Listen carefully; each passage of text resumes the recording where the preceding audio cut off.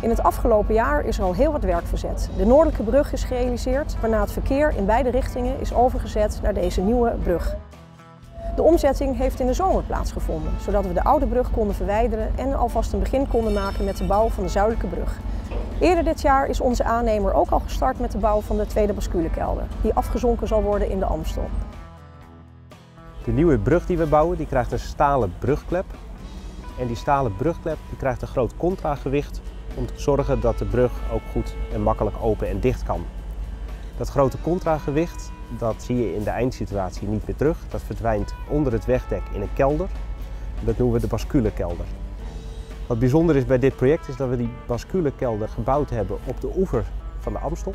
Terwijl die uiteindelijk midden in de Amstel terecht moet komen. Dat hebben we gedaan om al voor de sloop van de oude brug een stukje te kunnen bouwen.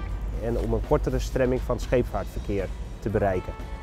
We zijn op dit moment bezig met de schuifoperatie waarbij we die kelder optillen, een stuk parallel aan de Amstel schuiven, naar het water toe schuiven en dan vervolgens laten zakken. Nou, we zijn ongeveer halverwege met deze operatie. Nou, met het schitterende weer van vandaag kan dat goed door. Hij moet nog een paar meter naar achteren schuiven en dan nog een meter of drie naar beneden. Nou, dat is een hele operatie, want die hele kelder weegt zo'n 250 ton.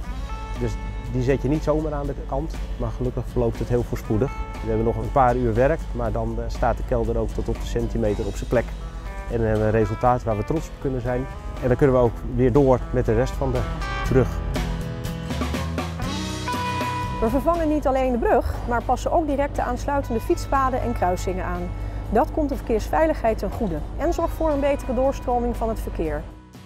De nieuwe Noordelijke Brug krijgt één rijbaan voor het gemotoriseerde verkeer richting Amstelveen. En fietsers gaan in beide richtingen over de nieuwe Noordelijke Brug.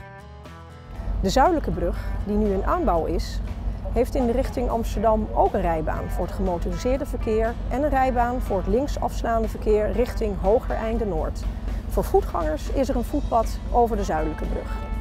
Voor fietsers en voetgangers is er straks via onderdoorgangen onder de provinciale weg, de N522, een veilige verbinding tussen zowel de Amsteldijk Noord en de Amstelzijde als tussen Hogereinde Noord en Zuid.